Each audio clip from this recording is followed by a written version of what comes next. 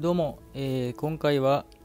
えー那須川天心さんの、えー性格と運勢を占っていきたいなと思います。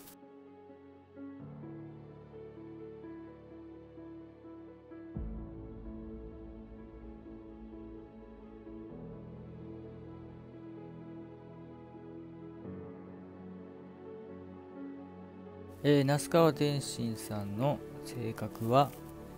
理屈よりもきらめきを大事にして直感に従って行動するタイプです。物質的なことにはあまり興味がなく目に見えるものより目に見えないものに重要性を感じ大切にします。神秘的な雰囲気を持ち言葉に強い力があります。マイペースで独自の世界を持っていて人の目や評価は全く気になりません。知識が豊かで意志が強いので人から信頼されて対人関係で苦労することはほとんどないでしょう。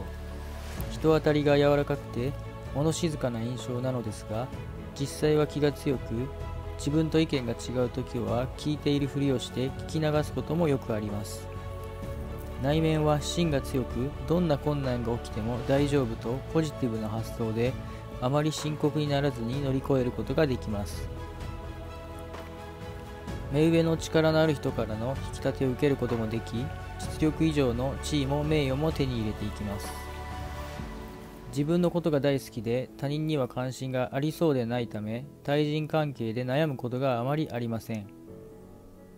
あるとしたら体調が思わしくなく精神的に落ち込んでいる時ぐらいでしょう。いじめられたとしても神経がずぶといので自分とは種類の違う人たちだと冷静に判断して無視してしまうので知らないうちにやり過ごしています。自分の気持ちを相手に言葉で伝えることが苦手なため思わぬところで誤解されてしまうことがあります。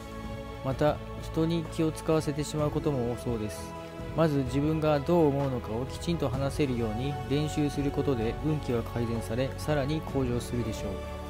えー次に、え那須川天心さんの、え運勢を見ていきたいなと思います。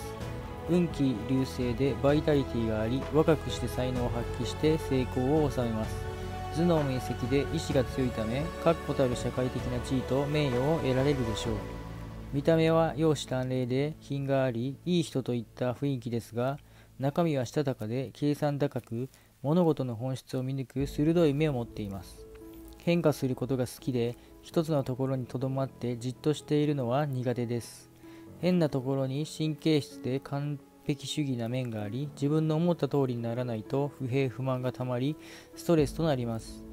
気配り上手なので友人も多いのですが慎重で警戒心が強いため本当の心はなかなか見せません。健康面は病気や怪我をしやすいので無理をしないこと。家庭面では男性は良き妻と子供に恵まれます、えー今回は、えー格闘家の那須川天心さんの性格と運勢を見ていきました。